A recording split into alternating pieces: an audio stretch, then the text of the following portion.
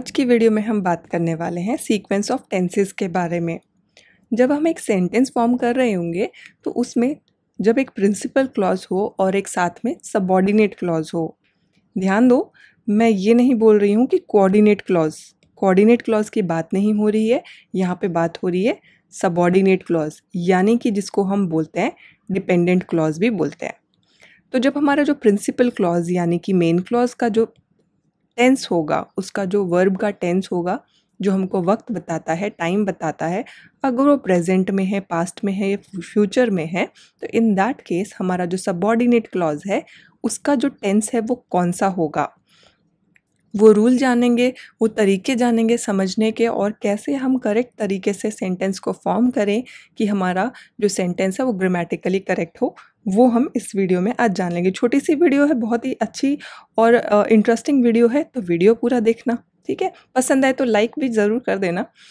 और जो हमारा सीक्वेंस ऑफ़ टेंसेस होता है बेसिकली ज़्यादातर प्राइमरली अप्लाई कौन कौन से क्लॉजेज़ uh, के ऊपर होता है? Adverb clause of purpose and clause of जो नाउन के क्लॉजेज होते हैं, इसके ऊपर ये ज़्यादातर सीक्वेंस ऑफ़ टेंस आपको ध्यान दे के यूज़ करने की ज़रूरत पड़ेगी।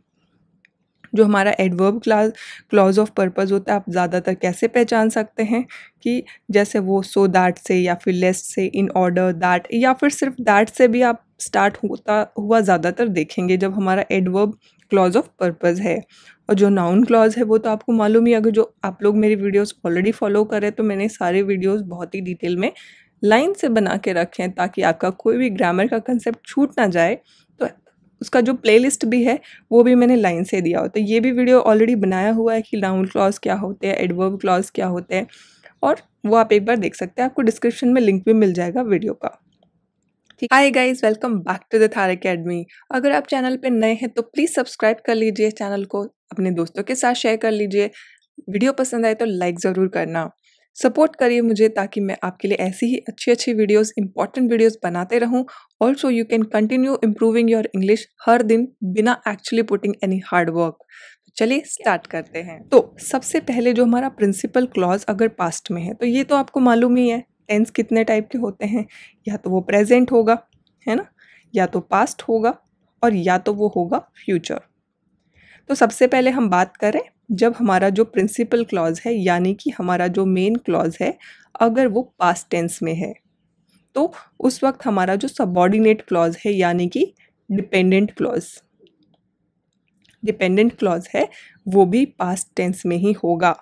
यानी कि पास्ट टेंस के बारे में जब हमारा मेन क्लॉज बात करा तो उस वक्त हमारा डिपेंडेंट क्लॉज भी क्या करेगा? पास्ट टेंस में ही बात करेगा। For example they found out that it was her fault तो हमारा जो यहाँ पे जो मेन क्लॉज है प्रिंसिपल क्लॉज क्या है? दे फाउंड आउट तो हमारा जो सबॉर्डिनेट क्लॉज है, वो दैट से स्टार्ट हो रहा है। ये आइडेंटिफायर्स मैंने ऑलरेडी बताए हुए हैं प्रीवियस वीडियोस में कि आप कैसे आइडेंटिफाई करेंगे कि कौन सा क्लॉज है ये एडवर्ब क्लॉज है नाउन क्लॉज तो it was found out that it was her fault it was found out हमारा जो वर्ब का कौन सा टेंस है प्रिंसिपल क्लॉज में प्रिंसिपल क्लॉज है और ये पास्ट टेंस में है। तो हमारा जो सबॉर्डिनेट क्लॉज है डिपेंडेंट क्लॉज है, उसका भी जो वर्ब होगा वो कौन से टेंस में होगा? पास्ट टेंस में। एक और एग्ज़ाम्पल देख लेते हैं। She replied that it would he would come तो हमारा यहाँ पे क्या है? शी रिप्लाइड उसने क्या रिप्लाई किया? पास्ट टेंस में है दैट तो ही वुड अगेन पास्ट यहाँ पे दिखाई दे रहा है आपको। तो जब भी हमारा प्रिंसिपल क्लॉज पास्ट टेंस में होगा तो हमारा सबॉर्डिनेट क्लॉज का जो वर्ब है, वो भी पास्ट में होगा। दो तरीके के एक्सेप्शन होते हैं। एक्सेप्शन का मतलब जब हमारा प्रिंसिपल जो क्लॉज है, अगर वो पास्ट में है तो सबॉर्डिनेट क्लॉज पास्ट के अलावा और कुछ भी हो सकता है तो उसके दो एक्सेप्शन है। कब कब? पास्ट के अलावा कोई और टेंस में हो सकता है। जब प्रिंसिपल क्लॉज जो पास्ट टेंस में है, अगर it may be it can be followed by which tense present tense कब होगा ऐसा? जब हम, जो हमारा सबॉर्डिनेट क्लॉज एक यूनिवर्सल ट्रुथ मतलब एक यूनिवर्सल सच्चाई, जो कि सच है, सबको पता है और वो फैक्ट है। जब हम उस उस यूनिवर्सल ट्रुथ को एक्सप्रेस कर रहे होंगे किसमें सबॉर्डिनेट क्लॉज में, उस वक्त हमारा जो प्रिंसिपल प्रिंसिपल क्लॉज में पास्ट टेंस होते हुए भी हमारा जो सबॉर्डिनेट क्लॉज है, वो प्रेजेंट टेंस को यूज़ करेगा। कैसे करेगा? एग्ज़ाम्पल में बताती हूँ आपको। माई मदर सेड दैट यहाँ पे क्या है? पास्ट है है ना? ये एक्सेप्शन है कि जब हमारा जो पास्ट टेंस में होते हुए भी प्रिंसिपल क्लॉज हमारा जो सबॉर्डिनेट क्लॉज है इज़ प्रेजेंट टेंस में क्यों हुआ? क्योंकि ये जो हमारा क्लॉज वो क्या बता रहा है? हमारा सबॉर्डिनेट क्लॉज एक यूनिवर्सल ट्रूथ बता रहा है कि honesty is the best policy तो उस वक्त ये एक्सेप्शन आपको काम में लाना लाना है और जब आप सेंटेंसेस कहीं पढ़ेंगे तो ये आपको गलत सेंटेंस नहीं होगा, ये एक करेक्ट सेंटेंस है because it is an exception एक और एग्ज़ाम्पल देखेंगे। Newton discovered that the gravitational force makes apple fall तो न्यू, न्यूटन ने क्या किया? डिस्कवर्ड किया था। पास्ट में उसने डिस्कवर किया था। तो ये पास्ट टेंस हो गया। क्या डिस्कवर किया था कि ग्रेविटेशनल जो फोर्स है makes it makes apple fall वो एप्पल को गिराती है। तो यहाँ पे कौन सा टेंस यूज़ कर, करा जा रहा है? प्रेजेंट टेंस यूज़ किया जा रहा है। तो पास्ट में होते हुए भी प्रिंसिपल क्लॉज के सबॉर्डिनेट क्लॉज प्रेजेंट में तब होगा जब वो एक यूनिवर्सल फैक्ट को या ट्रुथ को बता रहा होगा। दूसरा एक्सेप्शन क्या है अभी? सबॉर्डिनेट क्लॉज अगर देन से इंट्रोड्यूस किया जा रहा है है ना? जब उसकी स्टार्टिंग जैसे अभी तक तो हमने देखा था कि दैट आ रहा है, सो दैट आ रहा है। लेकिन अगर हमारा सबॉर्डिनेट क्लॉज जिसका प्रिंसिपल क्लॉज पास्ट में है subordinate clause than than comparison है ना? कंपैरिजन से इंट्रोड्यूस हो रहा है। उस वक्त इवन जब भी हमारा पास्ट टेंस में होते हुए भी हमारा जो टेंस है, किसका सबॉर्डिनेट क्लॉज का, वो कोई भी सेंस में यूज़ कोई भी टेंस में यूज़ किया जा सकता है है ना? वो फिर फिक्स नहीं है कि वो पास्ट में होगा, वो प्रेजेंट में होगा या फिर वो फ्यूचर में होगा। वो सेंस उस सेंटेंस का जो सेंस आप बताना चाहते हैं, या फिर एक सेंटेंस ऑलरेडी लिखा हुआ है तो वो एक कॉन्टेक्स्ट में, किस कॉन्टेक्स्ट में लिखा गया है, उसको उसी तरीके से, उसी टेंस को यूज़ किया जा सकता है। वहाँ पे हमको इस चीज़ की छूट होगी। लेकिन आपको कब पता चलेगा कि ये छूट हमको कब दी गई है? ये तब दी जाती है, ये छूट हमको तब दी जाती है कि हम अपना टेंस खुद चुन लें सेंटेंस के सेंस के हिसाब से उसका क्या मतलब है या तात्पर्य जो निकालना चाहते हैं, उसके हिसाब से जब वो इंट्रोड्यूस किया जा रहा है देन से। ठीक है? एग्ज़ाम्पल में देख लेंगे। I like car more than I like bikes यहाँ पे पास्ट है। कार को मैं ज़्यादा पसंद करता था। देन कंपैरिजन अगर आ गया तो आप यहाँ पे आई लाइक प्रेजेंट भी बता सकते हैं प्रेजेंट यूज़ कर सकते हैं। Then it can be a it will be a correct sentence because the sense जो आप बताना चाहते हैं वो यूज़ कर सकते हैं। तो यहाँ पे कोई भी पाबंदी ना, नहीं होगी कि कौन सा टेंस आपको यूज़ करना है।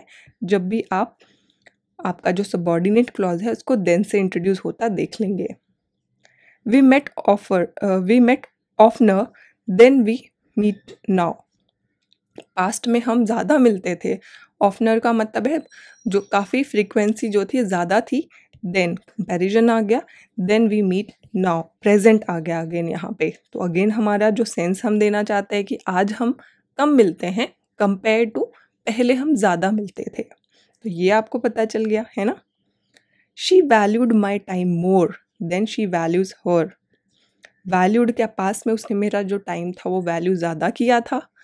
कंपेयर टू वॉट जो वैल्यू करती उसका टाइम तो अब उसका प्रेजेंट टेंस भी आप यूज़ कर सकते हैं और यहाँ पे आप फ्यूचर भी यूज़ कर सकते हैं डिपेंडिंग ऑन द सेंस ठीक है? क्या सेंस उस सबॉर्डिनेट क्लॉज का बनना, बन रहा है या हम बनाना चाहते हैं? I hope I made the point clear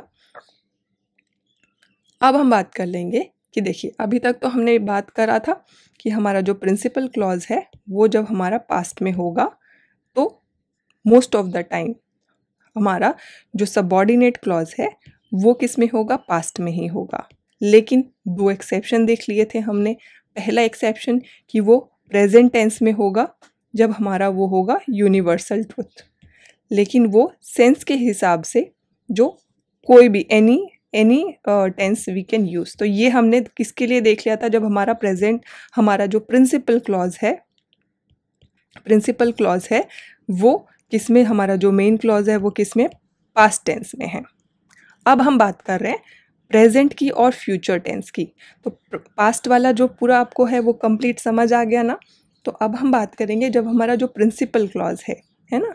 जो मेन क्लॉज है प्रिंसिपल क्लॉज है वो जब प्रेजेंट में या फिर फ्यूचर टेंस में होगा तो वो फॉलो किया जा सकता है any tense required by the sense तो इसमें आपको ज़्यादा रूल देखने की ज़रूरत नहीं है।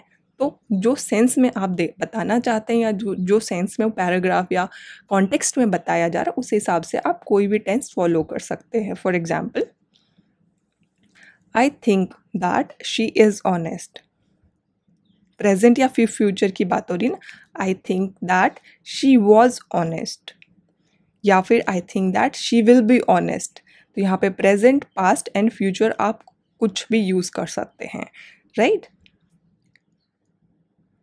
बट जब भी हम, जो हमारा सेंटेंस होगा, जहाँ पे सबॉर्डिनेट क्लॉज जो हमारा पर्पस डिफाइन कर रहा होगा, कौन से टाइम पे? जब हमारा जो प्रिंसिपल क्लॉज है प्रिंसिपल क्लॉज है, मेन क्लॉज यानी कि वो हमारा प्रेजेंट में या फिर फ्यूचर में फ्यूचर में है। उस वक्त जब हमारा सबॉर्डिनेट क्लॉज जो है, डिपेंडेंट क्लॉज जो है, वो क्या कर रहा है? वो एक पर्पस बता रहा है। तो उस वक्त क्या होगा? जो वर्ब है वो तो मैंने आपको बता दिया कि प्रिंसिपल क्लॉज का जो वर्ब होगा, प्रेजेंट या फ्यूचर में होगा।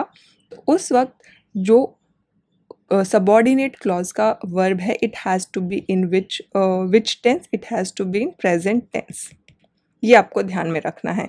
आई रिपीट वंस अगेन ताकि कोई भी कन्फ्यूज़न आपको ना रह जाए। तो जब भी हमारा जो प्रिंसिपल क्लॉज जो है प्रेजेंट और फ्यूचर में होगा और वो Uh, हमारा सबॉर्डिनेट क्लॉज जो है ये हमारा पर्पस एक कोई किसी भी चीज़ का पर्पस बता रहा होगा। आप अगर ये बोलेंगे कि मैम जो पास्ट वाला था, इसे प्रीवियस वाला जो सेक्शन था, वहाँ पे तो पर्पस हो रहा था पर्पस डिफाइन कर रहे थे, लेकिन देर वॉज़ नो डिफरेंस लेकिन सिर्फ़ ये कहाँ पे डिफरेंस आपको देखना है? जब हमारा प्रेजेंट या फिर फ्यूचर वाला टेंस यूज़ हो रहा है प्रिंसिपल क्लॉज में, है ना? तो उस वक्त हम क्या करेंगे? सबॉर्डिनेट क्लॉज में आपको डेफिनेटली डेफिनेटली कौन सा टेंस यूज़ कर लेना है? प्रेजेंट टेंस यूज़ कर लेना है. For example eat well so that you may keep yourself healthy तो यहाँ पे हम ईट वेल सो दैट हम प्रेजेंट की बात कर रहे हैं है ना? पर्पस सो दैट यहाँ पे हमारा जो पर्पस हमारा एडवर्ब क्लॉज ऑफ़ पर्पस है है ना? और हमारा जो आ, आ, आ, हमारा जो वर्ब है वो प्रेजेंट में है है ना?